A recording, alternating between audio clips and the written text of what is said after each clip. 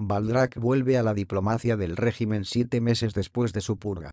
El nuevo cargo le fue concedido desde el pasado 10 de septiembre y fue oficializado en la Gaceta, diario oficial, de este martes 21 de septiembre mediante acuerdo ministerial 30-2021 firmado por el canciller Denis Moncada.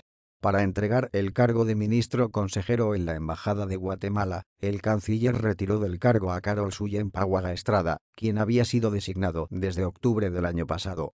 Baldrac fue uno de los más férreos defensores de Daniel Ortega ante la comunidad internacional, pero el 23 de febrero fue apartado de todos los cargos que ocupaba como funcionario del Ministerio de Relaciones Exteriores desde el año 2008, 16 cargos en total, régimen designa nueva embajadora en el Vaticano, es la cuarta movida diplomática en 13 meses.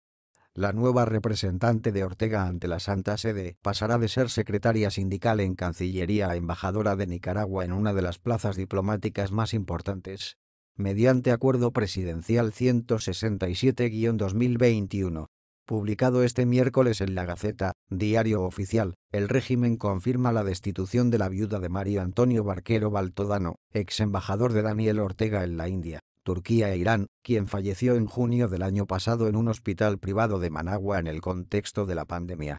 En sustitución de Ortega Sotomayor, mediante acuerdo ministerial 31-2021, el canciller Denis Moncada designó como nueva embajadora ante la Santa Sede a Sandy Anabel Dávila Sandoval. De la nueva representante hay muy pocas referencias.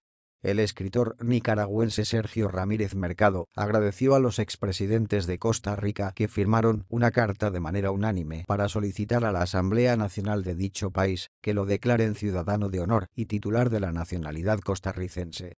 Me honra y me conmueve así como es motivo también de mi profunda gratitud el respaldo que la presidenta del Poder Legislativo que ha dado a la solicitud, dijo el ganador del premio Cervantes, en cuya contra hay una orden de aprehensión por parte del régimen de Daniel Ortega en Nicaragua.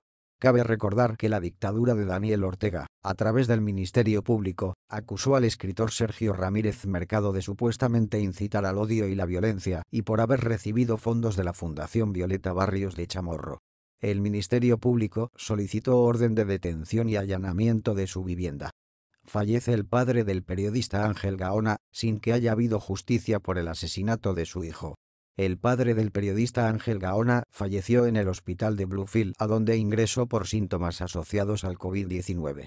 La madrugada de este jueves, 23 de septiembre, se conoció del fallecimiento del pastor Ángel Gaona, padre del periodista del mismo nombre, quien falleció el 21 de abril, al recibir un impacto de bala mientras cubría las protestas de 2018 en la ciudad caribeña.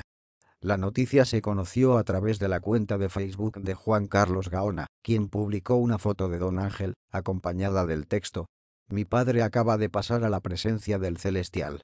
Asimismo, había escrito, Mi Padre ha partido a la presencia del Señor. Dios es bueno. Según diversas fuentes, don Ángel Gaona falleció en el hospital de Bluefield, hasta donde fue trasladado, tras presentar síntomas asociados al contagio. Tras el asesinato de su hijo, don Ángel Gaona y su familia, estuvieron exiliados en Costa Rica durante 18 meses.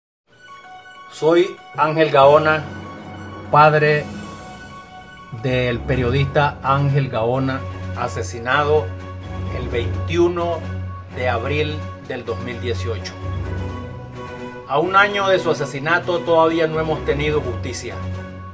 A un año de su asesinato seguimos esperando que los culpables sean llevados a juicio. Los verdaderos culpables están libres. Los verdaderos culpables andan circulando por el país normalmente estamos esperando justicia. Hay más de 500 muertos por los cuales pedimos justicia. Hoy, más que nunca, Nicaragua necesita de libertad. Necesita libertad de prensa, libertad de expresión por la cual murió mi hijo. Necesita llegar a tener la libertad. Necesita que lleguemos a tener nuevamente una democracia. Nicaragua está subyugada. Nicaragua está prisionera. Es una cárcel todo el país. Es una cárcel donde no hay libertad para nadie. Estoy pidiéndoles a todos y cada uno de ustedes que sigamos en la lucha